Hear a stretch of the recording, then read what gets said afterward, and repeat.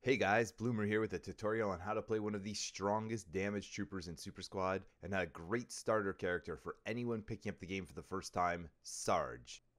Today's video is just a basic tutorial to get you comfortable with the character with more in-depth guides coming in the future. As always, the game is still constantly being updated, so the numbers quoted may not be the exact same as when you're watching this, but the basic concept should remain the same. So with that said, let's jump into it. Sarge is a damage dealing machine in the game of Super Squad. He pumps out heavy damage consistently and isn't afraid to get close to the front lines to put pressure on anyone and everyone. Another member of the military faction, his primary fire comes from his SMG, dealing a whopping 20 damage per shot. With a rate of fire at 6.1, he can start laying into anyone unlucky enough to get within 20 meters of him. Although he only has 973 health, he also sports a second dodge if he ever finds himself too close to the front lines and in need of a quick exit. Sarge's moves are called Cluster Grenade and Suppressive Fire and fit in perfectly to just about any team comp. Cluster Grenade involves throwing a grenade at the target location, which then explodes and splits into 8 additional grenades, exploding around the original area of effect. The inner explosion currently does 110 damage, and the outer explosion does 115. Suppressive Fire sends Sarge into a whirlwind, firing bullets in all directions. While he's spinning, he gets a damage reduction as well as damaging any enemies within his radius.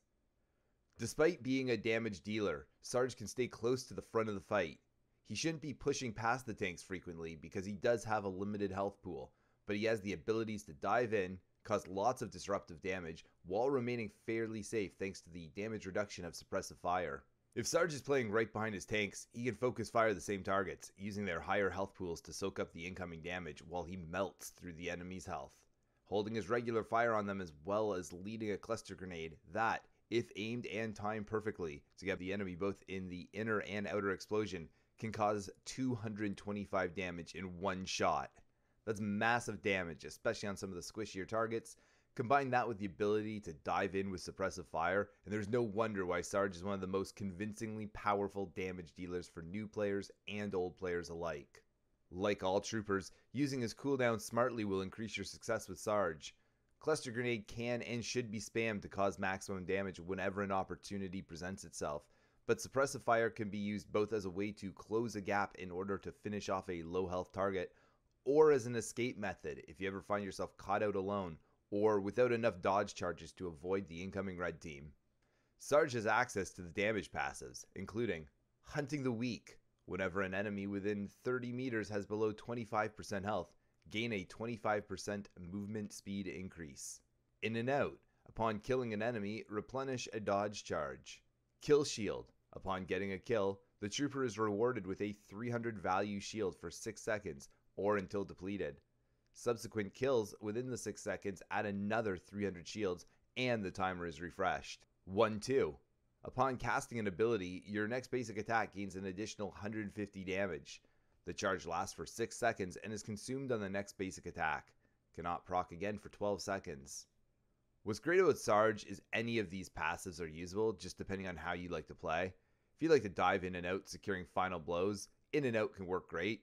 If you, however, prefer to keep pushing and typically get caught out of position because of it, Kill Shield might be the answer to save your life.